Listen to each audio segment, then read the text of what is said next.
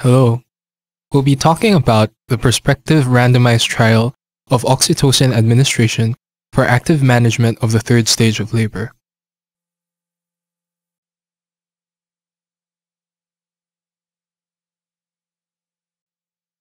First off, what is active management of third stage of labor? It is composed of the administration of uterotonic drugs, controlled cord traction, uterine massage after delivery of placenta, and delayed cord clamping. Postpartum hemorrhage is defined by more than 500 mils of blood loss within the first 24 hours postpartum for vaginal delivery and more than 1 liter within the first 24 hours postpartum for cesarean delivery. The significance of this is that postpartum hemorrhage is responsible for 25% of maternal deaths worldwide. The main causes of PPH include the four T's tone, tissue, thrombin, and trauma. Tone is the leading cause of postpartum hemorrhage. The main causes of atony include uterine inversion, distension, and exhausted myometrium. For the treatment of atony, we can divide it into mechanical, pharmacological, or surgical interventions. The main pharmacological intervention is the administration of oxytocin, which we'll be talking about today. Oxytocin is usually given in 10 units in either an IV infusion or intramuscularly. It is given on sight of the anterior shoulder after delivery of head, or after delivery of the neonate and cord clamping, or after the delivery of placenta. The aims of the study were to determine the most effective route of oxytocin administration, IV or IM, and to determine the timing of oxytocin administration, either on sight of the anterior shoulder or after cord clamping. The parameters measured were duration of the third stage of labor, blood loss during first hour of delivery, comparison of the hemoglobin and hematocrit changes, and comparing the need for additional interventions.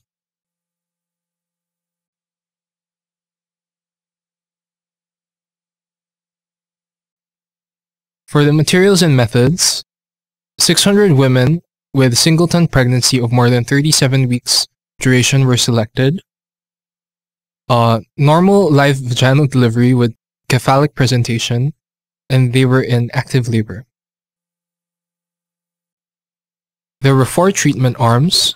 All arms received 10 units of oxytocin. Group IVA received oxytocin IV at 1 ml per minute after delivery of the fetus and after clamping of the cord. Group IVB received oxytocin IV at 1 ml per minute when anterior shoulder was seen and after the head was delivered. Group IMA received IM oxytocin after delivery of fetus and after clamping of the cord.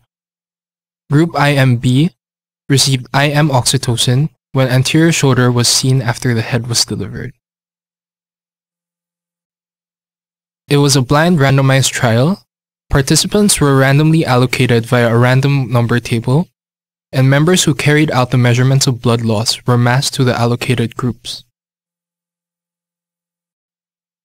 For the evaluation of treatment arms, participants were evaluated by taking a medical and obstetric history, general and pelvic examinations were done, blood samples were taken before delivery for hemoglobin and hematocrit, Duration of labor augmentation with oxytocin was recorded, and vital signs, hemoglobin, and hematocrit were recorded after the end of first hour postpartum.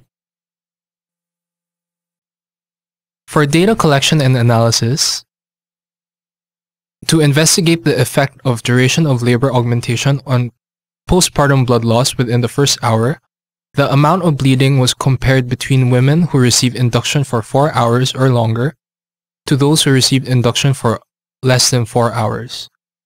Women were followed up for 1 hour in the delivery room for measurement of postpartum blood loss. For data collection and analysis, data and analysis for statistical evaluation was performed via SPSS. The difference in amount of bleeding was compared among the groups using independent sample t-test and one-way analysis of variance.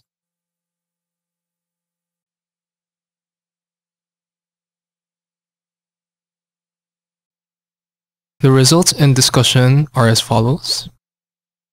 This is a table on the demographic data in treatment arms. As you can see, the demographics are not significantly different, and hemoglobin and hematocrit are not significantly different. However, the duration of the third stage of labor was significantly different.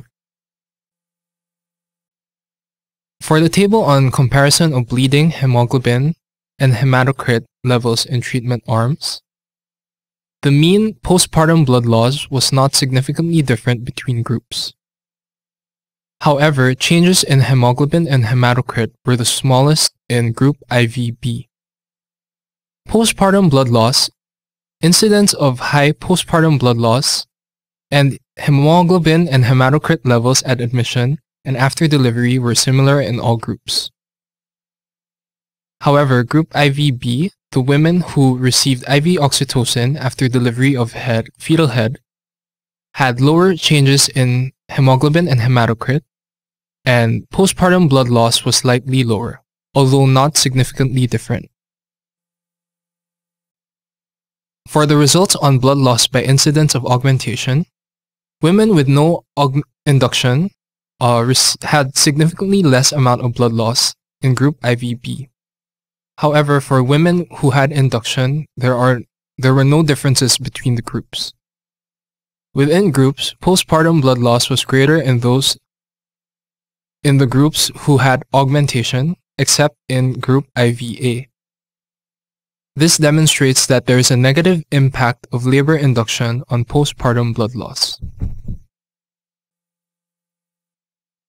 For the data on blood loss by duration of labor augmentation, Women who received augmentation with oxytocin for 4 hours or more. Postpartum blood loss was greater in all groups. Significant in all groups except for group IMB. Women who received augmentation with oxytocin for less than 4 hours. The lowest postpartum blood loss was in group IVA. This shows that there is a possible negative impact of longer labor augmentation. For blood loss by incidence of episiotomy, women who went un underwent episiotomy had higher postpartum blood loss in all groups as compared to women who did not go undergo episiotomy. There is a significant difference only in group IVB. There is no significant difference in postpartum blood loss between women who did not and did have an episiotomy. Blood loss seems less in women who did not have an episiotomy, but not significantly different except in group IVB. The author's conclusions are as follows.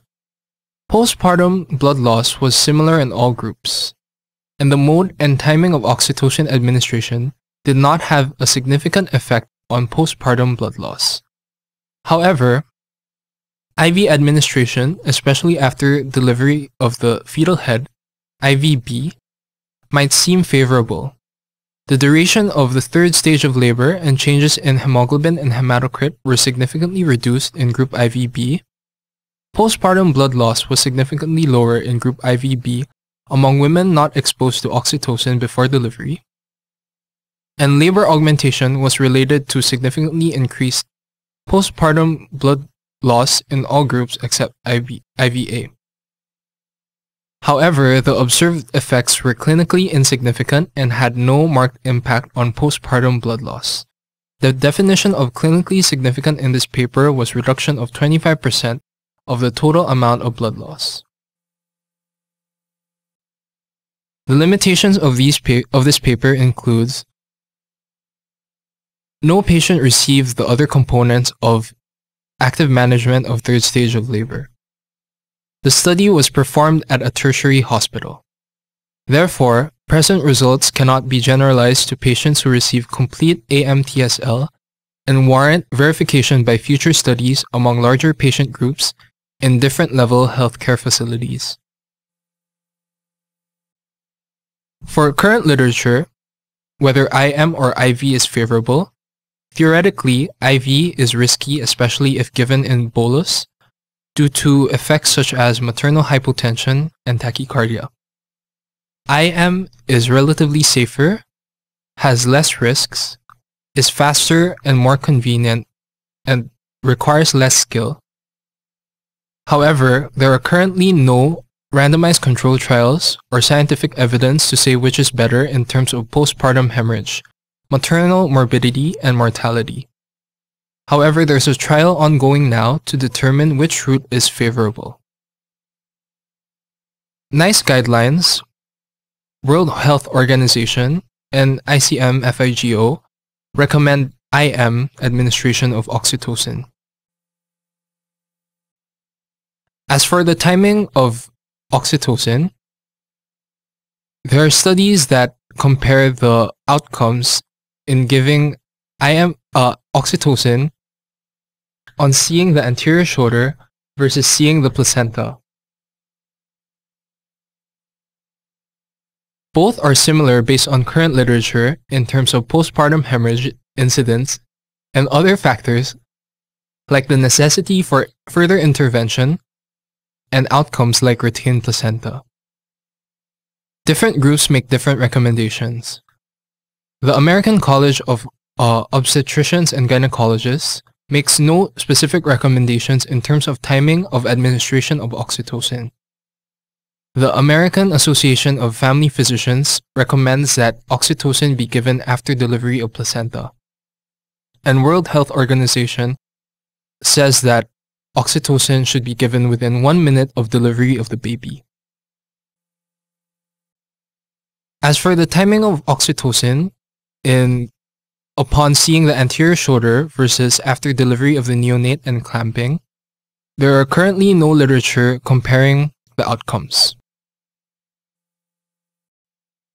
Therefore, we conclude, in terms of IM versus IV oxytocin, the study showed that the administration of IV oxytocin upon delivery of the anterior shoulder reduces postpartum blood loss. However, due to limitations, larger trials should be conducted to determine which route of administration is favorable.